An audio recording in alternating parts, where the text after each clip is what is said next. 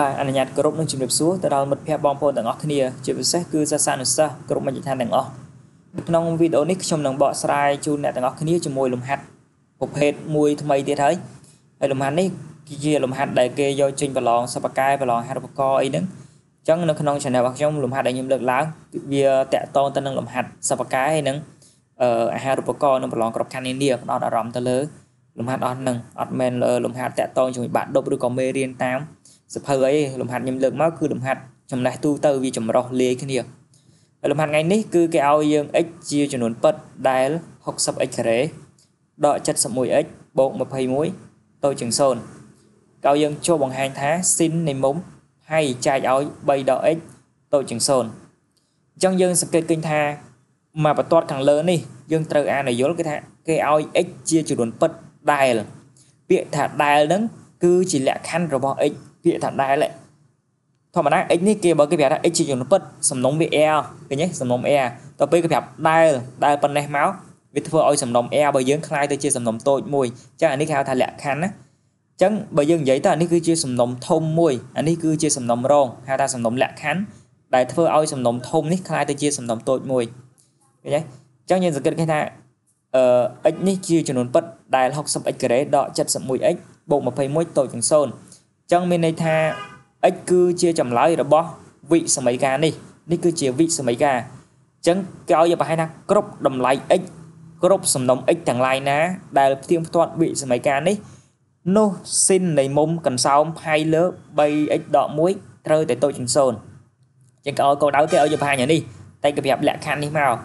អញ្ចឹងដើម្បីឈានទៅដល់ការបកស្រាយលំហាត់ក៏ដូចជាស្រាយថាស៊ីននៃមុំនេះតូចជាង0តលតែយើង បោះស្រាយឲ្យឃើញសិនថា x នឹងនៅចន្លោះណាខ្លះ x នឹងមានសំណុំបែបណា x នឹងមានរូបរាងបែបណា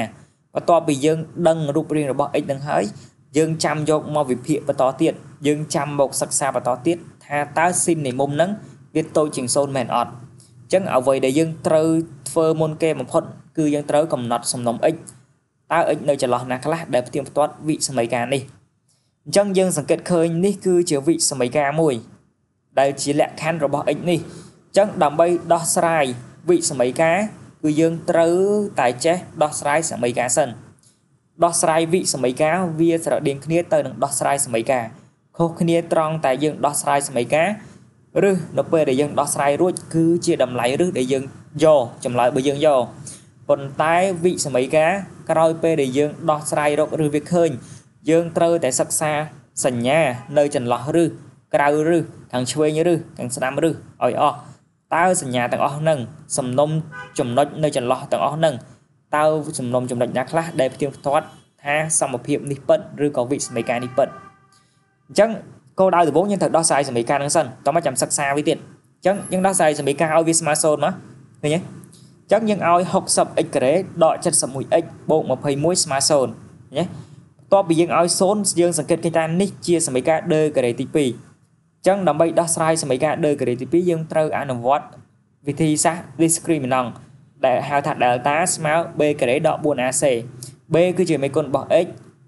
a ជាមេគុណរបស់ x ការ៉េហើយ c គឺជាមេគុណរបស់ x សេគុណ0អញ្ចឹង b ការ៉េដក 4ac វាបានដក71ការ៉េដកឲ្យ4កតាឲ្យ60កតាឲ្យ21បន្ទាប់មក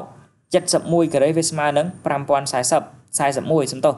5041 ដក4គុណនឹង60គុណ21ស្មើនឹងដក50 40 5040អញ្ចឹង5041ដក5040ស្មើនឹង1យើងសង្កេតឃើញថាឬបើយើងជាចំនួនវិជ្ជមានកាលណាជាចំនួនវិជ្ជមាននោះយើងឃើញ delta យើងជាចំនួនវិជ្ជមានកាលណា delta របស់យើងជាចំនួនវិជ្ជមាននោះយើងនឹងទាញបានសមីការរបស់យើងនឹងមានរឹស2ដែលសិតតែជាចំនួនពិតខុសពីគ្នាផ្សេងពីគ្នាឃើញទេ ចឹងករណីទី1 x1 របស់យើងស្មើនឹងដក b ដកឬ delta លើ 2a ដក b b យើងដក71ដកមកដកទៀតវាទៅជា71ដកឬ delta ចឹងឬ delta ឬ1ឬ1 1ដដែលទេចាយឲ្យ2គុណ60វាស្មើ120ចឹងយើងស្មើនឹង70 71ដក1វា70ចាយឲ្យ120សម្រួល0ទៅវាសល់7លើ12ដល់ឡែក x2 របស់យើងវាស្មើនឹងដក b បូកឬ delta លើ 2a អញ្ចឹង ដក b បូកឬ delta លើ 2a ឃើញទេអញ្ចឹងបន្ទាប់ពីយើងបូកទៅវាទៅជា71បូកឲ្យមែនបូកឲ្យ1សុំទោសនេះត្រូវបូក1មិនមែនបូក39ទេគឺបូកឲ្យ1បូកឲ្យ1ចាយឲ្យ120អញ្ចឹងយើងបូកឲ្យ1ទៅវាឃើញ72ឃើញទេ72យើងធ្វើការសម្រួលទៅយើងសម្រួល1 120នេះទៅគឺយើងនឹងបានតម្លៃវាស្មើ3លើ5ឃើញទេ3លើ5 បន្តមកទៀតគឺយើងសង្កេតឃើញថាបន្ទាប់ពីយើងបានរឹស2នឹងហើយកន្លែងនេះខ្ញុំសូមកាត់បន្តិចតែខ្ញុំនឹងបញ្យល់ឲ្យអ្នកទាំងអស់គ្នាច្បាស់នៅនៅត្រង់ធ្វើយ៉ាងណានៅពេលដែលយើងបានរឹសរបស់វាហើយបន្ទាប់ពីយើងបានរឹសរបស់វាយើងត្រូវសិក្សាសញ្ញានៅលើតារាងសញ្ញាមួយយើងគូសបន្ទាត់ឈរមួយប្រកបបន្ទាត់ដេកនេះអាខាងលើនៅខាងលើផុតខាងឆ្វេងដៃផុតយើងដាក់ x ខាងក្រោមយើងដាក់ f នៃ x ខាងផ្នែកខាងនេះយើងត្រូវដាក់ដែនកំណត់របស់វាដកអណន់ទៅដល់បូកអណន់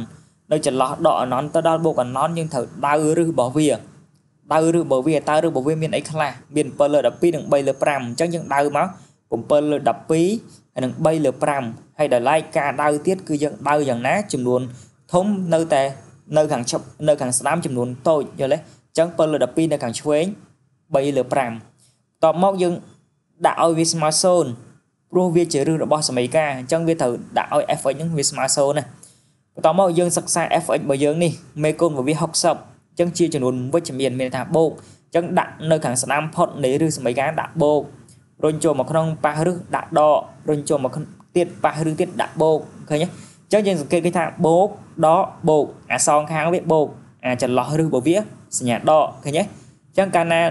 អានៅក្នុងនេះសញ្ញាដកមានន័យថាគ្រប់តម្លៃ x នៅចន្លោះឬហ្នឹងធ្វើឲ្យវិសមភាពហ្នឹងឬក៏ធ្វើឲ្យ fx ហ្នឹងតូចជាង0 កាលណា fx តូចជាង0នោះវាផ្ទៀងផ្ទាត់សម័យកាលហ្នឹងហើយទៀងទាត់វិសម័យកាលហ្នឹងហើយអញ្ចឹងយើងបានតម្លៃនៃសំណុំ x គឺ x ស្ទើរត្រូវតែស្ថិតនៅក្នុងចន្លោះ7លើ12រហូតដល់3លើ5នេះចន្លោះបើកអត់ចន្លោះបិទទេព្រោះវាតូចជាងដាច់ខាតអញ្ចឹងបន្ទាប់ពីយើងបានរូបរាងនេះយើងបានសំណុំក៏ដូចជារូបភាពនៃ x x នៅចន្លោះណាខ្លះហើយយើងចាំយកវាមកបំលែងយកមកវាវមកវិភាគបន្តទៀតធ្វើម៉េចឲ្យតាក់តងជាមួយ កន្សោមនៃស៊ីននេះឃើញទេអញ្ចឹងបន្តមកទៀតគឺខ្ញុំគុណអង្គទាំងពីរគុណអង្គទាំងពីរនិង3ឃើញទេគុណវិសម័យកានិង3ទាំងអស់ទៅវាជាចំនួនវិជ្ជមានអញ្ចឹងគុណទៅវាអត់បដូរទិសដៅអញ្ចឹង3គុណទៅវា3មិននេះអញ្ចឹង3សម្រួលមួយ12អា12វាសល់4តូចជាង 3x តូចជាង3គុណ3វាឡើង9លើ5ភាគបាយនៅដដែលបន្ទាប់មកទៀត គឺយើងធ្វើវិធីសាស្ត្រដកអង្គដកវិសម័យការហ្នឹងនឹងដកមួយមានថាយើងដាក់ដកមួយនៅនេះដកមួយនៅនេះដកមួយនៅនេះធម្មតាវិសម័យការកាលណាយើងដក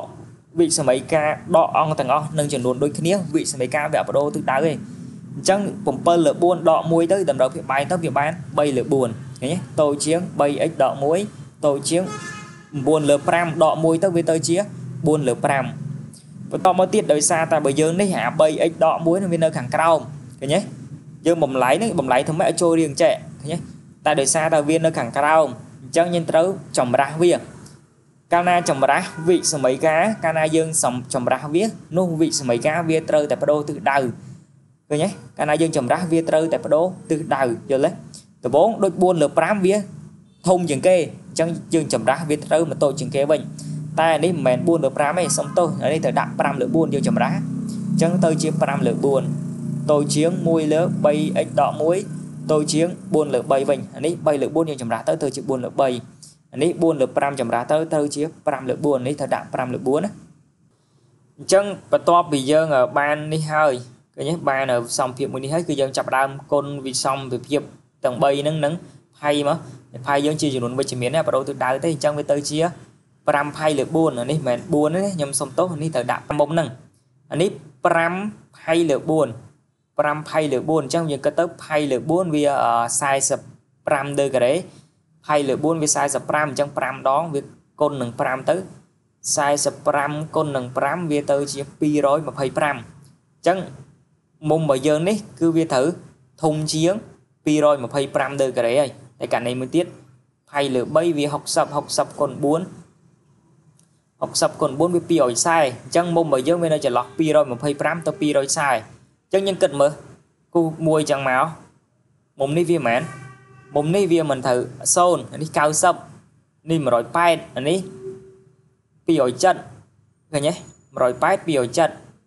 180 270អញ្ចឹងមុំរបស់យើងវានៅចន្លោះពី225ទៅ240ឃើញទេអញ្ចឹងវាមិននៅកាត់ត្រង់ទី3 កាលណានៅកាត់ត្រង់ទី3យើងទម្លាក់ចំណោលកាច់មកលើអាស៊ីនមកអញ្ចឹងធ្វើឲ្យស៊ីននឹងវាជាចំនួនអវិជ្ជមានអញ្ចឹងមានន័យថាស៊ីនរបស់យើងនឹងត្រូវតែតូចជាង0ព្រោះថាមុំនេះវាធំជាង225តែវាតូចជាង240អញ្ចឹងវានៅកាត់ត្រង់ទី3កាលណាកាត់ត្រង់ទី3មុំនឹងស៊ីននៃមុំនឹងត្រូវតែតូចជាង0អញ្ចឹងដូច្នេះយើងឆ្លើយមកបើសិន x ជាចំនួនពិតដែលផ្ទៀងផ្ទាត់ថា 60x ការ៉េដក 71x បូក21តូចជាង0 នោះស៊ីននៃមុំនឹងត្រូវតែតូចជាង0អញ្ចឹងខ្ញុំសូមរំលឹកឡើងវិញបន្តិចដល់ចំណុចនេះគឺទី1យើងត្រូវដោះស្រាយវិសមីការរករស់វិសមីការនឹងសិនតែដើម្បីដោះស្រាយវិសមីការរករឹសរបស់វិសមីការយើងត្រូវចាត់ទុកថាវិសមីការនឹងស្មើសិនដោយដោះស្រាយសមីការធម្មតាទៅហើយឃើញរឹសបន្ទាប់ពីឃើញរឹសយើងសិក្សារឹសរបស់វាតើនៅចន្លោះរឹសនឹងមានរឹសមានសញ្ញាអីសងខាងរឹសមានសញ្ញាអីបន្ទាប់មកយើងចាំ ចាប់ផ្ដើមយកសញ្ញាឬក៏យកសំណុំចំណុចណា ដែលធ្វើឲ្យសញ្ញារបស់អានុគម fx របស់យើងហ្នឹងវាផ្ទៀងផ្ទាត់ទៅនឹងវិសមភាពហើយវិសម័យការនេះតមកយើងយកវាមកបំលែងចោះឡើងទៅគឺយើងនឹងឃើញនេះមុំនេះតែមកដល់ចំណុចនេះគឺខ្ញុំទាញខុសបន្តិចដោយសារអីយើងចម្រាស់អញ្ចឹងអានេះទៅជា5លើ4អានេះក៏ទៅ5លើ4ដែរតែខ្ញុំបានបញ្យល់មុនហើយអញ្ចឹងយើងលែងមានន័យការបារម្ភហីទៅពេលយើងវិភាគទៅឃើញថាមុំហ្នឹងវានៅកាត់ត្រង់ទី3អញ្ចឹងស៊ីននៃមុំហ្នឹងត្រូវតែតូចជាង0អញ្ចឹងដូច្នេះស៊ីននៃមុំផៃលើ 3x ដក1តូចជាង0ហើយដែល x ជាឫសរបស់វិសម័យការនេះអញ្ចឹងខ្ញុំសូមចប់ការបោះស្រាយលំហាត់នេះត្រឹមហ្នឹងហើយលំហាត់នេះធ្លាប់ចេញប្រឡងសិប្បការហើយសង្គមតែអ្នកទាំងអស់គ្នានឹងអាចធ្វើវាបានប្រសិនចេញលំហាត់សេរីអញ្ចឹងមកទៀតហើយជាចុងក្រោយសូមជួយចុចចែករំលែកវីដេអូនេះទាំងអស់គ្នាបើអ្នកទាំងអស់គ្នាគិតថាវីដេអូនេះមានប្រយោជន៍ដល់សិស្សានុសិស្សគ្រប់រូបដែលគាត់ត្រៀមប្រឡងវិជ័យនានាហើយកុំភ្លេច ជួយចុច Subscribe Channel របស់ខ្ញុំផងចំពោះអ្នកដែលអត់ទាន់បានចុច Subscribe ហើយចុចរូបកណ្ដឹងដើម្បីទទួលបានព័ត៌មានផ្សេងៗទាក់ទងនឹងការផុសវីដេអូល្អៗបែបនេះជារៀងរាល់ថ្ងៃបាទសូមអរគុណសូមគោរពលា